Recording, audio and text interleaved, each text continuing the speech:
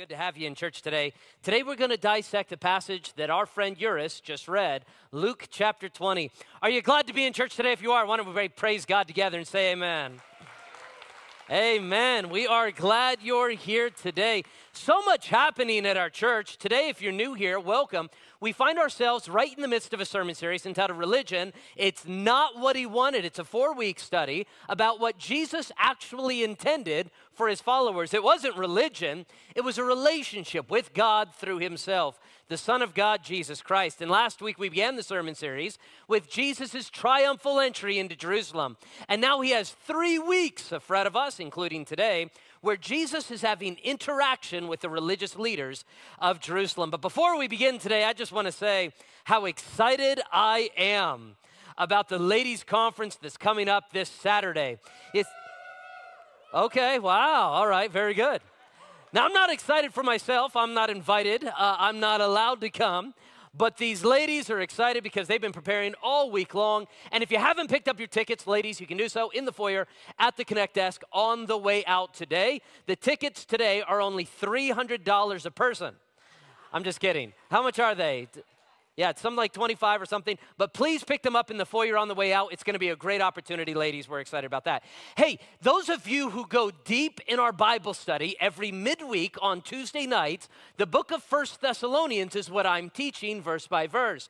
However, this Tuesday night, we're taking a break and we're picking up a week from Tuesday. So for those who want to know that, come on back Tuesday nights, First Thessalonians. And then lastly, our teenagers have a youth group called The Ascent. And tonight is Summit Night, which is the most important night every single month. And if you have teenagers, bring them tonight at 6 p.m. And if you are a teenager, come at 6 p.m. If you know teenagers, bring them. Uh, they're going to have a great time tonight. How many of you are ready to study the Bible together? If you are, say amen. Today's sermon is entitled How to Argue with a Pharisee. And I want to begin by making a very strong statement and then an illustration of that statement. If you are a follower of Jesus Christ, Pharisees will challenge you. How many of you in this room are followers of Jesus? If you are, say amen. Okay, so you're going to be challenged by a Pharisee.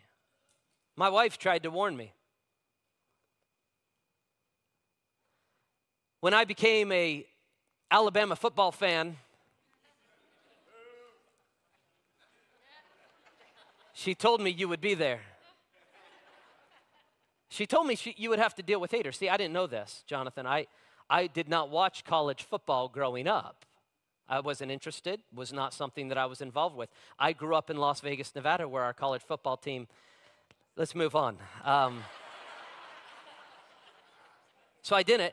Uh, but my wife is from Alabama, and when we started dating, I went to Alabama to meet her family. And the very first thing her brothers said to me was this question They said, Roll Tide or War Eagle?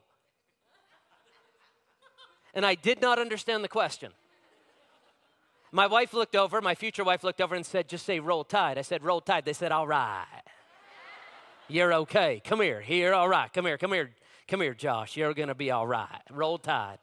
So I just said roll tide. Kept seeing roll tide. Didn't really know much about what that meant, but that meant Alabama football. And then I started watching every Saturday. and it grew on me. I started enjoying it because Alabama football, they tend to win quite a bit. And my wife warned me. She said, Here's the problem with being an Alabama football fan that we are surrounded by haters. And at first I thought to myself, that's not true. Nothing's going to happen in this way. I'm going to be absolutely fine. Uh, but I found it to be the case. When we have a lo- uh, when we have a winning season, when we're dominating college football, here's what I often hear. Well, you have a cushy schedule. And then when we are losing, I hear, well, the dynasty is over. And so, no matter if we win or lose, we're always going to be attacked. This is the way winners have to live their lives. Some of you might be asking the question, what's going on? Oh, those who know college football know my team lost yesterday and I'm upset. It happens. I was at Buffalo Wild Wings, as I often am. 150 people in that building. None of them wearing Texas t shirts, none of them wearing Texas hats, but all of them, except for Alabama fans, rooting against my team. Why? Not because they love Texas, but because they hate Alabama. So, what my wife prophesied was true. I went home last night with my wife. It was not a good night. Heather's not here this morning. She's still at home mourning the loss. That's not true. She's up teaching the new members class right now. And I asked her, I said, What are you going to do? Like, what do you do? She's still my, like my discipler, right? She's still my Jedi master in this Alabama realm. I said, What are you going to do if a Texas fan says something to you? She says, They already have. I said, Well, what are you going to say? She said, In the most pleasant southern hospitality, womanly type of a southern woman way that she could. She said, Well, bless your heart. this must mean a lot to you since the last time Texas beat Alabama was 1982. So enjoy the moment. You do not want to argue with my wife. so she was right. Being an Alabama fan means you're going to be surrounded by haters. Being a follower of Christ means something. And, some of you today are new to Jesus Christ, and that's awesome. Some of you found out about who Jesus is, the reality of what actually matters in life, the Son of God to save you from your sin and to bring you into eternity in His kingdom. And you've become a follower of Christ and you've given yourself over to Jesus Christ. But you need to know something from somebody who's been around. Coming along with your following of Jesus Christ means that you have enemies who hate you. You say, No, I know about the devil. The devil's like a, a, lion, right? And he's trying to devour me. Yes, the enemy is the Satan who is attacking you and wants to destroy you. But it's not just Satan. There are other humans who do not follow Christ, who hate Christ, and therefore are against you. And you need to be aware of it. And some of them hate Christ because they love their religion. Maybe it's their traditional religion, or maybe it's a new modern religion of materialism, sexuality, godlessness, where the man himself becomes his own God as they reject the God of heaven. These individuals who hate the message of Christ will also come after you. And I know you're, some of you, some of you, not all of you, some of you are a little naive as it relates to this, just like I was about Alabama football. And you're like, come on, not really. And the answer is yes. And today I'm going to share with you how you can interact with those who hate you because they hate Christ. If you're ready for it, give me an amen. Today is a very serious message from Luke chapter number 20. If you follow Christ, Pharisees will challenge you. Three questions you have to ask as you're challenged by Pharisees. Three questions you have to ask while you're challenged by religious individuals. Question number one do, how do you identify a Pharisee? Question number one, how do you identify a Pharisee? Say it with me. I'm going to say question number one. You say, how do I identify a Pharisee? Question number one, how do I identify a Pharisee? The way you identify a Pharisee, as outlined in this passage, two ways. Number one, they question Jesus' authority. And number two, they reject God's messengers. Two things here. They reject Jesus' authority and they question, uh, they reject God's messengers. Look at the passage, Luke chapter 20. And as you do, Luke chapter 20 and verse 1, you're going to find this fascinating. If you remember from last week, Jesus has just arrived in Jerusalem. He went into the temple, and when he went into the temple, he cleansed the temple of all the money changers and the marketplace individuals and said, This is to be a house of prayer, but you've made it into a den of thieves. And then the Bible says he arrives the next day and he sets up shop in the temple and he begins to teach. Look what it says. As it happened on one of those days, that as he taught the people in the temple, he preached the gospel, and the chief priests and the scribes, together with the elders, confronted Jesus and spoke to him and said, Tell us, by what authority are you doing these things? Or who is it that will give you this authority? Notice what they did. They approached Jesus and said, Who do you think you are? That you can come in here and cleanse the temple and teach opposite of what our religion teaches. Who do you think you are? So a Pharisee will question the authority of Jesus. Even to this day, there are people all throughout our, our land who question the authority of Jesus in their own lives and in this world. But hear this not everyone who has this question is a villain.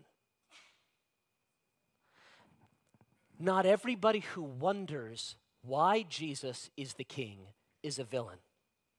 Not every Pharisee who wonders, who are you and where did you come from? Look, you might be here today and you might be saying, I don't know much about Jesus. Can you explain why he has the authority to tell me what to do in life? See, you might be a Pharisee in our terminology, but you might be a good Pharisee like, like the one who came to Jesus in the middle of the night. Do you remember him? There was, a, there was an, a Pharisee in the middle of the night that came to Jesus, and he had exactly the same question.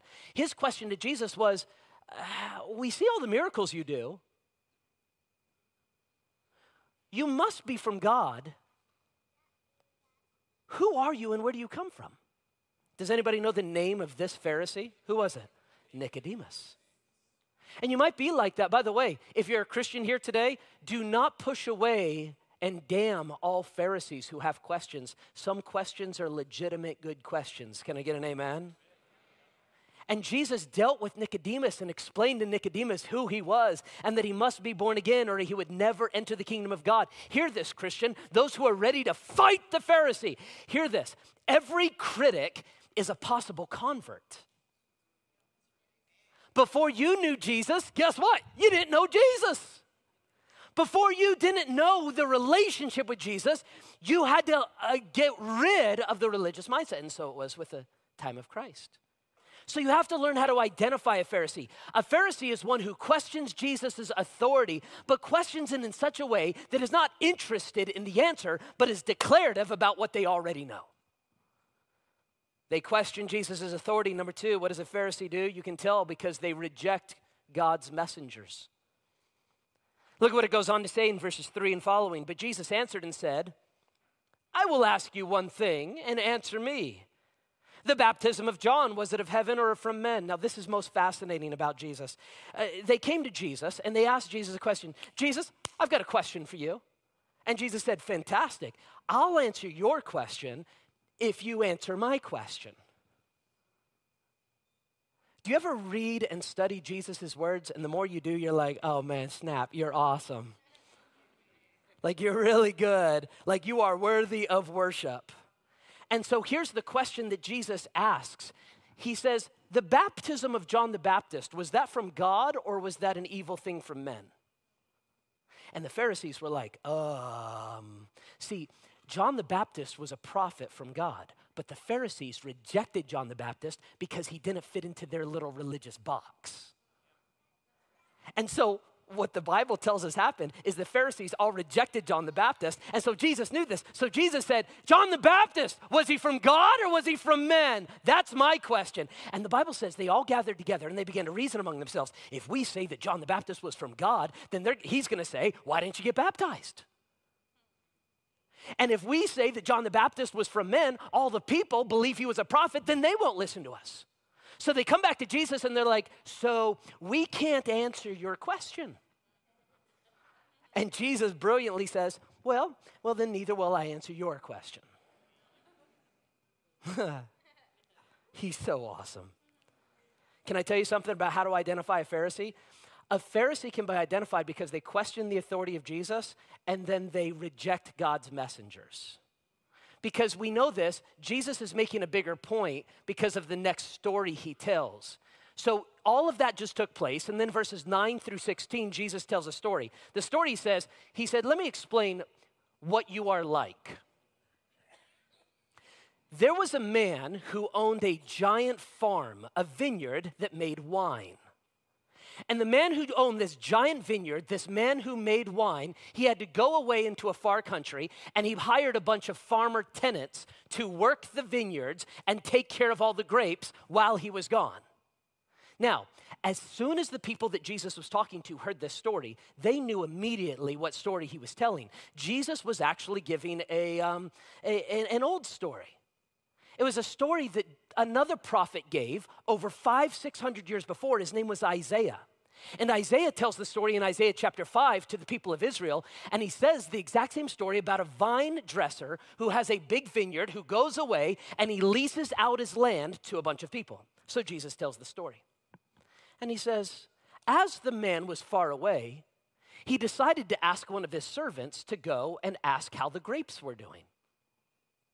And so he did the messenger went from the big important man over to the people who were supposed to take care of the vineyard and said, Hi, I'm here on behalf of the owner. How are the grapes doing?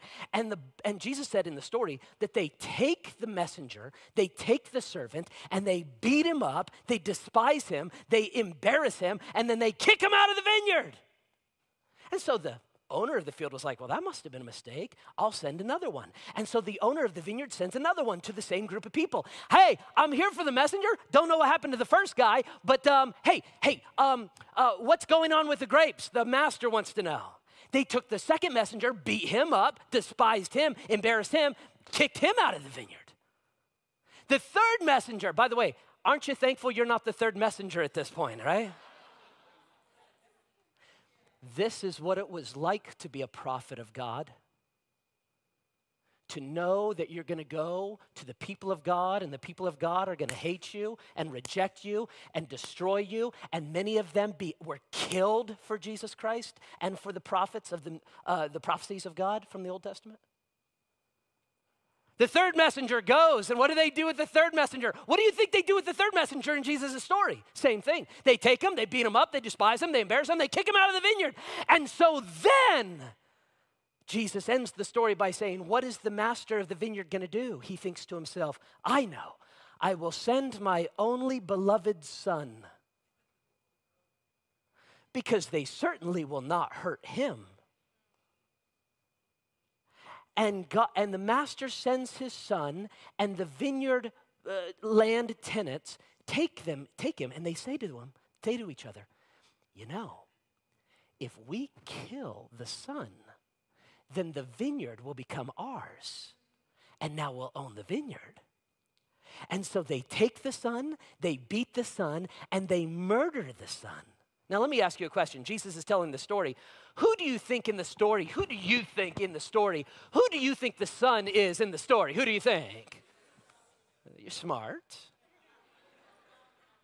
By the way, do you think you were smarter than these Pharisees? No, they knew. They knew exactly what Jesus was saying. Jesus was saying, You have persecuted prophet after prophet after prophet after prophet. And now that he has sent his only son, you're going to kill him. Wow. I got to tell you, that's a mic drop moment for Jesus right there. So, what do they say back to Jesus? We'll get to that in the second question. The first question that we have to ask when fighting with a Pharisee number one, first and foremost, you have to ask the question How do you identify a Pharisee? Number two, number two, how did Jesus argue with the Pharisee. Okay, let's take a few principles about argumentation. If you like debate, if you like confrontation, if you like to get into a good argument, if you like to argue on social media more than you do in real life because you're a coward, if that's you, I'm just serious. I'm just serious. I'm just serious. All right. I'm just serious. See, I'm it with a smile. You can't be offended. If that's who you are, you're going to love the principles of argumentation from Jesus here. Here's a few of them. Number one, number one, Jesus, how did Jesus argue? Number one, he answered a question with a question. Did you notice that? How, how many of you, your, your spouse does this to you sometimes? Right? You ask a question, they, they're like, well, I'll tell you if you tell me. And you say, what are you doing? You're like, I'm like Jesus. it's actually not original with Jesus. It's called the Socratic method, and it was made famous by Socrates hundreds of years before Jesus. It's a way of teaching principles by asking question. If you're an educator or a teacher, you know this. You go to the class and you say, ask this question and then this question, and then they respond. It's one of the ways you teach. It's also a great way to argue a point because if somebody is absolutely dogmatic about what they believe, instead of addressing what they believe, ask them a question, and that question oftentimes undermines their foundational argument. Jesus does it this way Tell us, by what authority do you do these things? Or who is it that gave you this authority? But Jesus answered, I'll say to you, uh, I also will ask you a question. Answer me. The baptism of John, was it from God or from man? We can't answer you. Okay, question's over. How, you, how could you do this in your life? Maybe in your life you have a Pharisee who is worshiping the world. Like they, they would say they're not religious, but they actually worship their car and their job. You know what I mean? How, by the way, am I alone here? How many of you know what I'm talking about? They would say, I, am not, I'm not religious, but they bow down at the altar of social media four hours a day. You know what I'm talking about? And they might say to you something like this a family, a friend, a coworker. They might say to you something like, Why do you spend a whole day of, why do you spend a whole day every week at church? Like you, like you go to church and then you go to this small group and then, you know, like you sit around and you help with the kids' ministry or whatever. You're like, man, you spend so much time at church. Like, why do you do that? And oftentimes, what we do, and what we do is we just give a direct answer because I love God, don't you? We don't get anywhere. Instead, why don't you answer a question with a question like, That's a very good question. How do you refresh your soul and motivate your spirit? Does it make sense? Well, why not reply back? That's a very good question. Let me ask you a question. How is it that you refresh your soul every week? How is it that you fill your spirit? Because I know clearly you feel very rested and at peace. You're filled with joy and love. And, and, and genuinely, not being sarcastic, attempting to help them understand why you do this. But not just why you do it, ask the question of them where do you get your peace and solace and encouragement and motivation for the week? For me, I, I just happen to go to that place and be around those people, you see? They might ask the question why isn't your church very traditional? Maybe if you come from a very traditional religious background and our church is a little bit more contemporary in a lot of things, they might ask, why isn't your church, why isn't your church very traditional? Why don't you baptize your babies? Why don't you do this and that and the other?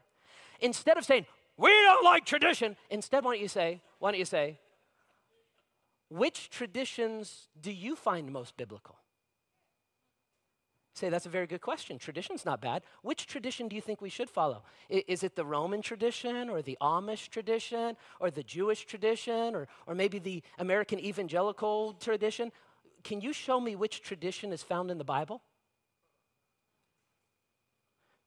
Because what that does is it says, I want to follow whatever you think, just show me in the Bible where it is. Does this make sense? See, here's another question you could ask to a question. Somebody might say, Why do you base your whole life on that ancient book? I mean, you, your whole, you said, My whole life is based on this ancient book. I would ask the question, What book do you base your life upon? Like, which book? Maybe there's a better one, more authoritative, more historic, more relevant, more filled with wisdom. Which book? And no matter what they say, at least you are engaged in a dialogue. You understand? Rather than fighting and yelling at each other. I, I, I, know it, friend. I know what it's like. To be a follower of Christ who engages in dialogue about spiritual things, it can be irritating. It's like my sister Charity. Charity is my sister. She's the one who's speaking at the ladies' conference on Saturday, right here. Charity, um, she grew up as a pastor's kid, like I did. And pastors' kids get to grow up in church, which is amazing, but they also have other issues. How many of you ever known a pastor kid? You're like, Amen, amen, they do have issues. Settle down. Some of you enjoyed that one too much. You're like, look at your kids. Yeah, shut up. pastor kids are human, right? They have issues. My sister Charity, and when you're a PK, everybody knows your life and everybody knows your business within, within the church setting. My sister also uh, got married late in life. I mean, she was an old widow, by uh, old uh, old woman by the time she got married. She was she was 23 years old.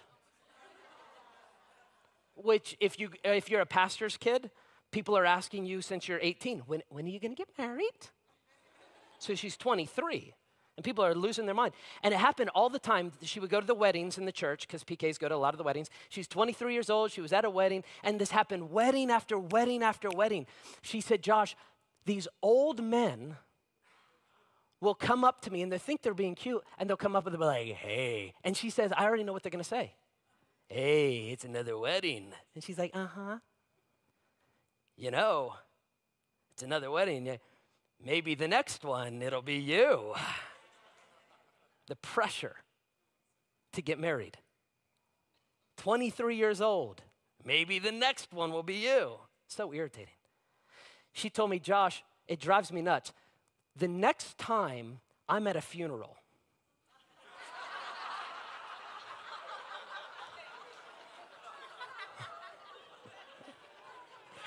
and I see an old man that has said that to me, I'm gonna walk up and say, Well, we're at another funeral.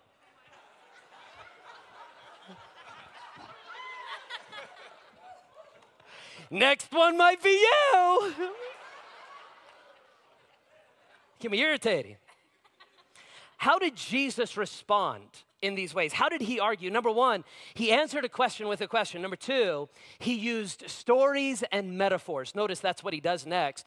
To drive home his point, he used stories and metaphors. Look at what he says in verse 9. Then Jesus began to tell the people a parable. A certain man planted a vineyard and leased it out to vine dressers. These are the tenant farmers we talked about. And he went away into a far country for a long time. And then he sent back and said, Hey, how are my grapes doing? He told a story. He told a story. You know, one of the best ways you can drive home a point is to tell a story. You know, I, I know what you're saying about giving a whole day to church. I do. You, you wonder why, like, why do I, why do I, re- some of you come from like um, the Las Vegas background where it's like work seven days a week, never stop, never rest, keep going, keep going, very entrepreneurial and then type A and driven. You're like, go, go, go, go. And then you get saved and you get baptized, you become a follower of Jesus, you learn about the Sabbath principle, and you're like, I need to take a day to rest and focus on God. Like that's what you've learned. But then you've got people from your back, they might even say they're followers of Jesus, but they're not really. And they say, Why do you spend a whole day focused on Jesus and God and rest? And here's what you say tell a story. Say, you know, I used to think exactly the same way. I really did. I totally know what you mean. I felt the same way. I used to think that taking a Sabbath was going to ruin my productivity. But I began to reach a breaking point. I was like a car, metaphor, that was running out of gas. And I, I, found when I follow Christ, He gives me a day of rest and a day of worship and a day of church. And what that does is that fills me up. Tell a story, a metaphor, and then go back to the original aspect, ask a question back How do you get filled up? Because I was just like running on fumes until I gave a whole day to God every week. Maybe the question is about the book. You follow that ancient book. You can reply back with a story. I know it seems strange. I really do. To follow an ancient book, but I got to tell you who I am. I was lost. I, I, knew there was a better way. I needed a better way. And I found out that the Bible is like a map for my life. Metaphor? And, and, you may find that your life is just right on track, but for me, I needed a guidebook. I needed a map for life, and so it was so helpful. You're telling a personal story combined with a metaphor, and it drives home the point of why somebody, and you know what you're doing? Instead of pushing Jesus down their throat, you're allowing them to question their own worldview, and they're gonna come back to you for the answer. Just like Jesus did. You see? How did Jesus argue? He answered a question with a question. He used stories and metaphors. Number three, he presented a clear choice. Here's the last aspect of what Jesus does. Look at what he does in verses 16 through 18. He gives a clear choice. You remember the story? He said, So The master sent his own son, and they took the son and they said, Hey, you know, if we kill him, we're going to inherit all of the land. Do you remember that story? This is how Jesus ends his dialogue with them. Look at verse 16. And he will come. Uh, so Jesus said, What will the master do? And Jesus gives the answer He will come and destroy those vine dressers and give the vineyard to others. He says to the religious leadership of Israel, You don't receive the Son, everything you have will be taken away, and what you have will be given to somebody else. And when they heard this, what do you, what do you, what do you, what do you think the Pharisees did? When they heard this, look at their response. They said, Certainly not. Why did they respond that way? Because they knew Jesus was quoting Isaiah chapter 5. He was saying, You're the villain here, pal. You're the villain here. And he looked at them and said, When then it was written, the stone which the builders rejected has become the chief cornerstone. Jesus now quotes Psalm 118, which we referenced in last week's sermon on the triumphal entry. He quotes the psalm and he says, Don't you remember what the psalm says? The stone that everybody thought was going to be thrown away ends up being the cornerstone of everything. I am the cornerstone of everything. That's what Jesus is claiming. And then he gives a very clear choice. Whoever falls on that stone will be broken, but whomever it falls upon, it will grind him to powder. Jesus says, Here's a metaphor. You want a metaphor? I'm the stone. And either you fall on me and you're broken, or I fall on you and crush you.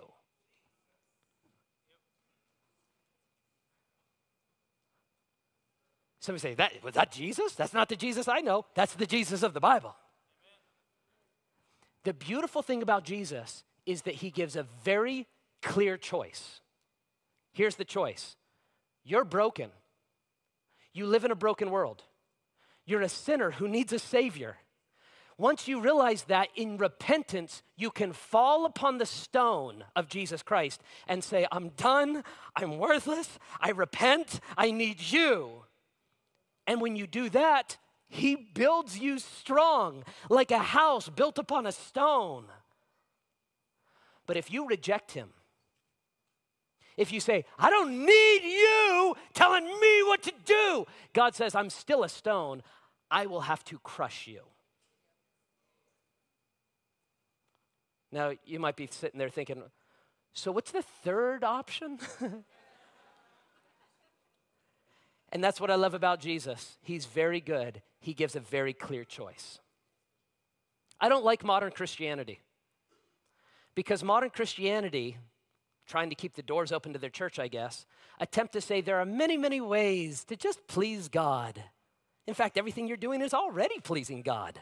He likes everything about you, and every thought you've ever thought is the right thought, given the offering. And Jesus makes it very clear Either you're broken and you can break your whole life by falling on Jesus and giving everything to Him, repent of your sins and receive me as Savior, then upon the rock of Jesus Christ I will build your new life. Or you can reject Jesus Christ and He will crush you permanently. Friend, let me be very clear. If you reject Jesus Christ as your King and Savior, and you worship yourself or some other false thing, you will die and stand before the king you rejected. When you stand before the king you rejected, you will be damned to hell forever. And the reason you hear those amens is not because we're excited about that, but because those people learned that and they repented and received Christ. And we know it's a wise decision. So you have a choice. You can fall and break yourself upon Jesus Christ and say, It's yours. You're my, you're my life. I'm your life. Build my life or you can do your own thing. You say, What should I do? Well, I'll, I did the fall on Christ. But here's the beauty. Please listen. It literally is up to you. Maybe I'm wrong. Maybe you figured out a better way. Maybe you figured out a third way that the very Son of God did not tell us. And to that I would say, good luck.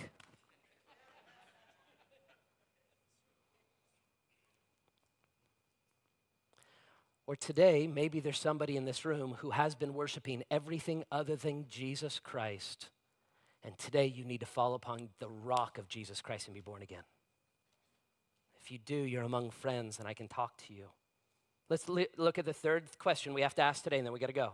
Based on this passage, number one, how do I identify a Pharisee? Number two, how did Jesus argue? Then number three, number three, why does it matter? Okay, let's end the sermon by asking, why does this matter for my life today? That's a very good question to ask. And the answer is twofold because of the Pharisee in you and the Pharisee you know. The reason this matters is because of the Pharisee in you and the Pharisee you know. You say, There's no Pharisee in me. Oh, yes, there it is, my friend. There is a little cynical, skeptical, power hungry, self righteous, better than everybody else, do your own foolish sin and then judge everybody else for theirs. There is a little resistant, authority resistant Pharisee inside of every single one of us.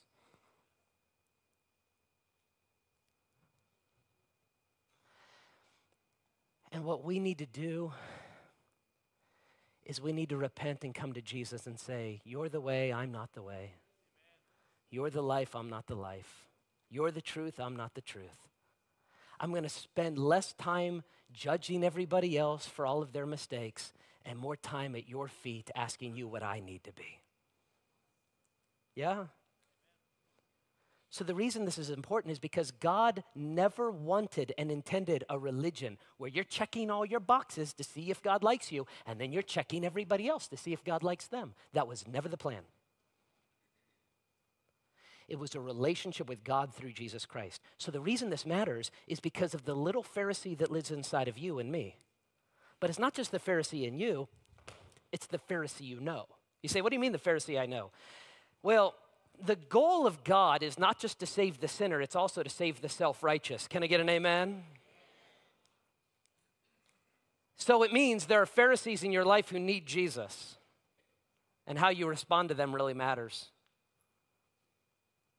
How do you, how do you save a Pharisee? I'll end with this story. When, um, when Heather and I first started the church, we were the only people on staff no other pastors, musicians, secretaries, assistants, nothing. It was just us. And I remember it was like a Monday after the church. There was like 50, 70 people coming to the church. And I remember I got a phone call from a visitor the next day. Well, it wasn't really a phone call. You know how we text everybody, thank you for coming, are you coming back? And it's like all the time and it's annoying. How many of you know what I'm talking about? Sure, you know. We did it back then too. And I texted someone, I'm like, thank you for coming to the church, love for you to come back. And they texted back, they said, I'll never come back. And immediately inside, I was like, oh, I was offended and also angry all at the same time. And, and I asked the question, maybe shouldn't have. I said, but, but why? They said, because your music is terrible. And he said, let me call you. And I'm like, oh no. Then he called. And now I'm on the phone with him. And I said, okay, so like, what didn't you like? And he started telling me what he didn't like. And inside of me, it's the same thing inside of you the rage. You know the rage? How many of you have the rage boil? Yeah, y'all have the rage boil inside of you? It was like starting to, and I'm like, man, I was ready to lava flow all over that young man. He was an old man, actually. I was a young man. And all of a sudden, the Holy Spirit of God said, Hold on. Listen to him. And so I said to him, I would love to go grab a cup of coffee and talk with you about this so our church could get better. He said, Really? I said, I'd love it. He said, Okay, let's do it. I said, Let's do it on Friday. Friday coffee appointments. I love it. So we, I drove all the way over to North Las Vegas, where he came from. Sat down with Anthony, sat down, had a coffee appointment, and there we were. And I pulled out a notepad and I said, Tell me what you thought this needs to change and this needs to change and the church I was part of and when I grew up and I'm writing it down page, page, page. And I kept asking the same question anything else? Thank you. Anything else? Thank you. Any, anything else? Thank you. Anything else? No? Nothing? Anything at all? Okay. And I shut the notebook. I said, This is so helpful. Thank you. Can I ask you a question? He said, Sure. I said, If you were to die today and you were to stand before God, and God said, Why should I let you into heaven? What would you say? And tears filled his eyes and said, I don't know. I said, Would you like to receive Jesus Christ as your Savior today? And tears poured out, and he said, That's exactly what I need. I said, Awesome. And right there over a cup of coffee, he, he got saved. His name is Anthony. He was a member of our church for almost 13 years. Here's my point I hated him when I met him. Pharisees are easy to hate. But God is giving you enough love to even show a Pharisee. Bring them to Christ and show them how they can be born again. Amen? Thank you for watching the Southern Hills YouTube channel. Make sure you subscribe and hit the bell icon to be notified every time we make a new video. And remember, we exist to make disciples for Jesus Christ. Have a great week. Peace.